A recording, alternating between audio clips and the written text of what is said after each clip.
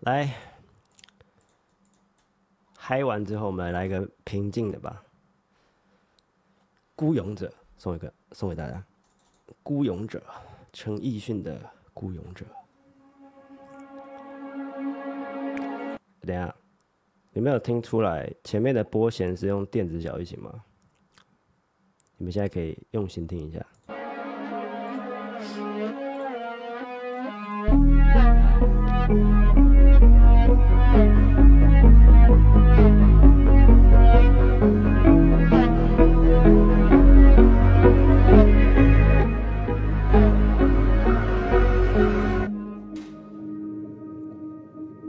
Música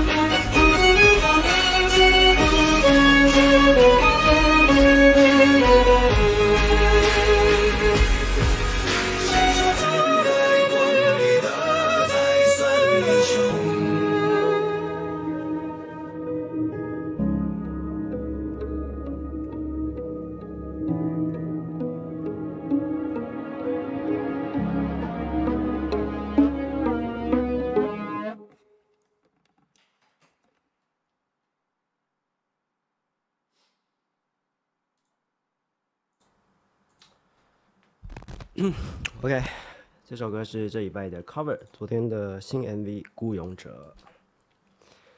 对我这首歌编比较久一点，后面的那一段很磅礴，一二三四，可能好像有五五轨吧，录五支小提琴进去。对，本来还想要再加，但好像觉得有点太多，好像可以再加个一两支啊。但是由于时间紧凑，我还想不出来最好的那个和声，所以就先这样。嗯，对，然后我有些的这首歌的一些，呃，像最后一句的那个这里，我直接拉给大家听好了。解说一下，最后的这一句就是这个。正常来说，应该是原本是这样的，比较雄壮一点的。但是我我在录音的时候有刻意录成那个比较拖一点的感觉，这个。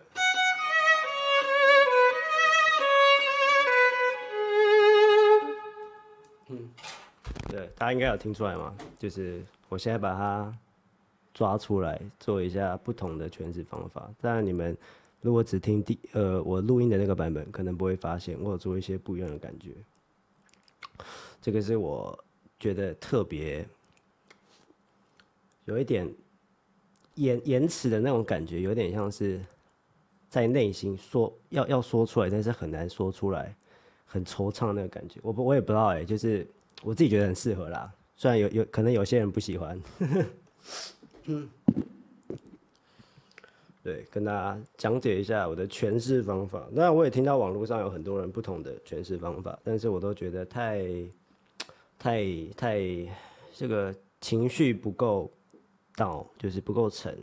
就我在诠释一些很孤独的东西，我我能够特别感感觉到，我不知道是不是我。特别能够感觉到这个孤独感还是什么的，就是就是一开始的那个孤独感，如果不够沉的话，听起来就会很浮躁，觉得 有时候太太太跳啊，或者是感觉心情太雀跃或什么的。哦，感谢 Jennifer Chen 的抖内，非常非常谢谢。嗯，对，嗯，好像一开始的那个哦，示范给大家看，我们一开始的那个。一个一个声音啊，给给大家听一下。我如果不够 down 的声音会长什么样子？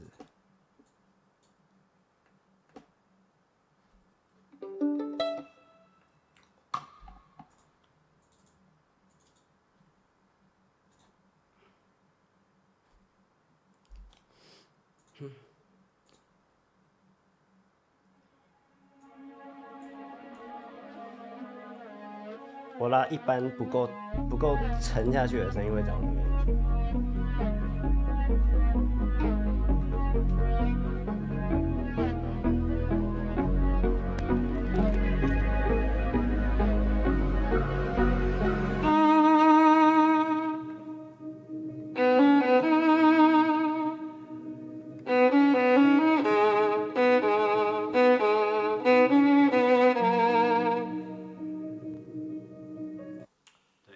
听出来，它是比较太多了，就是你抖音什么太多了，你就不会有那种很孤单的感觉。然后我这一次选择的方法是这样。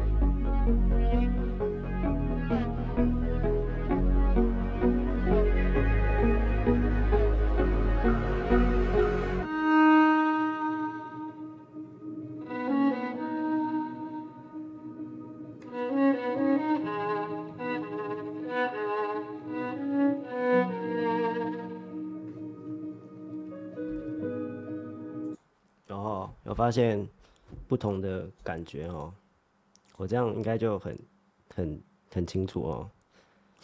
嗯，对啊，这首歌我蛮用心的，虽然点击率可能不太好了，但是我那时候在录，我我特别录这种孤单的曲子，我特别有感觉，不知道我也不知道为什么，每次录这种很很悲伤的曲曲子，我都能够把它用小提琴唱出来。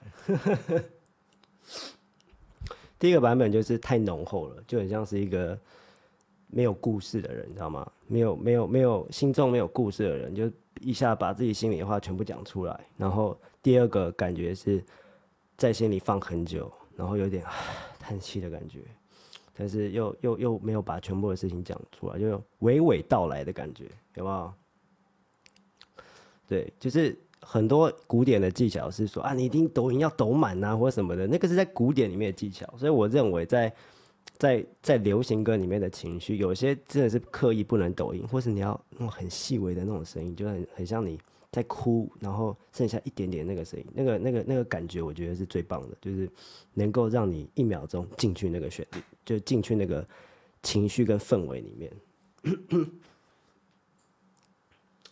对，就是有哈，就是这种诠释不同的方法。如果我没有讲，你们可能也感受不出来了。今天让你们哈看直播的学到了。如果要拉这首歌的哈，有没有？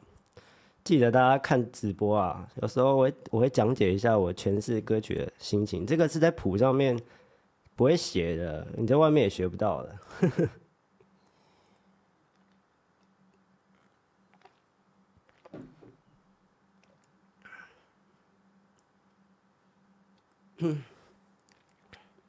对啊，因为因为乐器是没有歌词的嘛，所以你对于音音色跟那种抖音跟那种。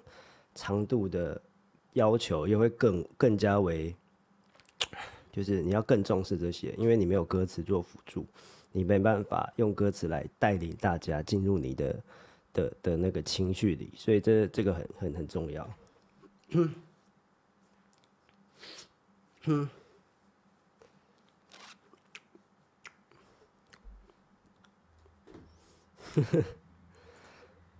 对啊，让大家学到了一招。